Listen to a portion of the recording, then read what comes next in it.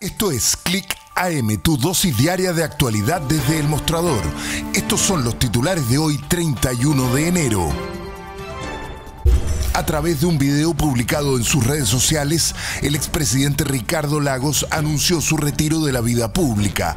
A mis 85 años comienza un periodo de transformación en mi forma de contribuir desde un espacio más íntimo, atento siempre a los desafíos que Chile y el mundo tienen por delante, escribió en su cuenta de X.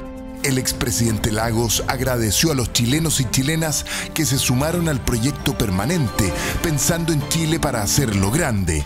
Hacia el final del video señaló que iniciará un nuevo camino, pero que no va a guardar silencio si le parece que puede hacer un aporte. Reacciones de agradecimiento y valoración de la figura de Ricardo Lagos provocó el anuncio de su retiro de la vida pública. El presidente Boric, en su visita a Chiloé, agradeció significativamente y emocionado por el aporte que ha hecho al país.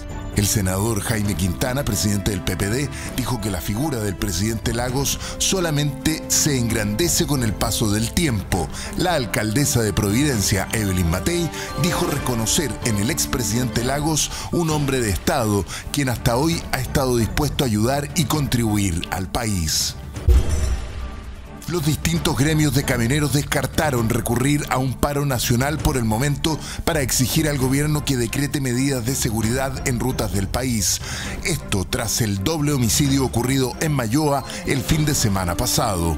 En un comunicado reiteraron su llamado al gobierno para que convoque al Consejo de Seguridad Nacional y agregaron que esperan que el gobierno disponga de los recursos para reforzar la seguridad en las calles y rutas del país.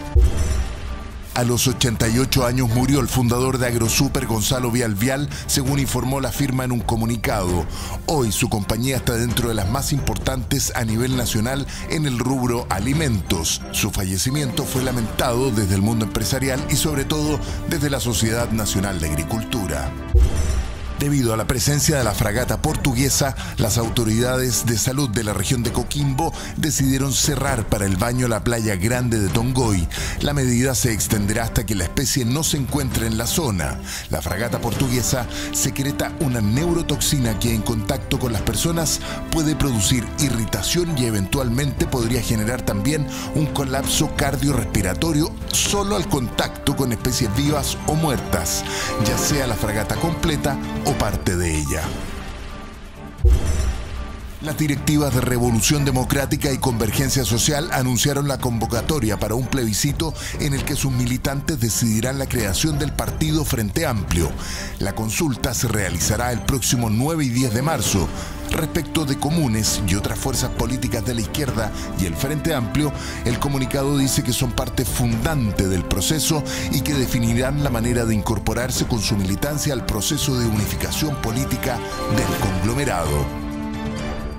A la espera de la reunión de política monetaria del Banco Central de hoy miércoles, el grupo de política monetaria recomendó rebajar la tasa de interés en 100 puntos base y pasar del actual 8.25 a 7.25% la economía chilena empieza tímidamente su proceso de recuperación y más fuertemente la confirmación de la convergencia de la inflación a la meta.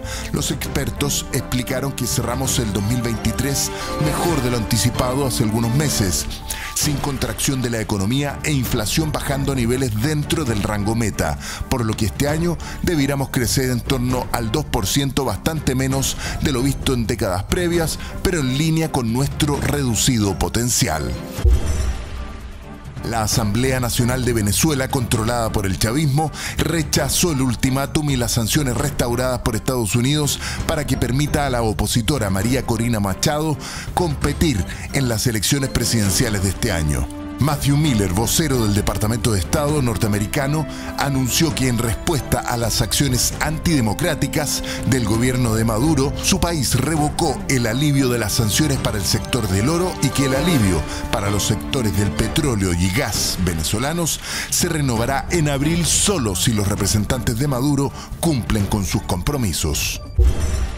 La Fiscalía de Perú confirmó que investiga al expresidente Martín Vizcarra como presunto líder de una red criminal denominada Los Intocables de la Corrupción.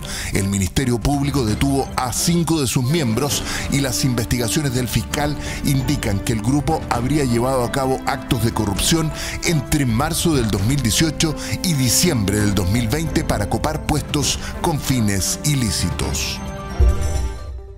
Y ahora vamos con el mostrador mercados y los indicadores económicos para hoy. El valor de la UEF es de 36.733.04. La UTM 64.666. El precio del dólar observado 932.66. El euro 1011.12. La Bolsa de Comercio de Santiago en su índice selectivo registró un valor de 5.970.63, lo que significó una variación negativa de un 1.55%. Y como siempre te voy a recomendar dos artículos de elmostrador.cl para hoy. El primero es nuestro editorial titulado Exigencia de transparencia y libertad de opinión.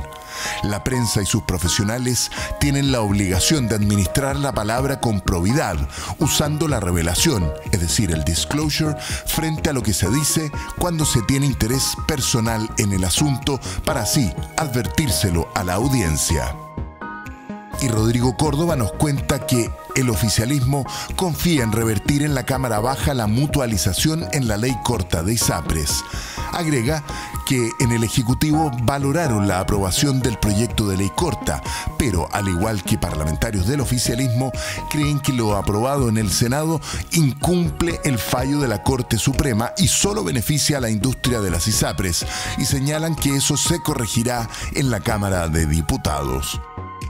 Y con esto termina la edición de hoy de Click AM desde el mostrador, El Poder de la Independencia. Soy Alejandro Repenning, que tengas un buen día y te esperamos en elmostrador.cl.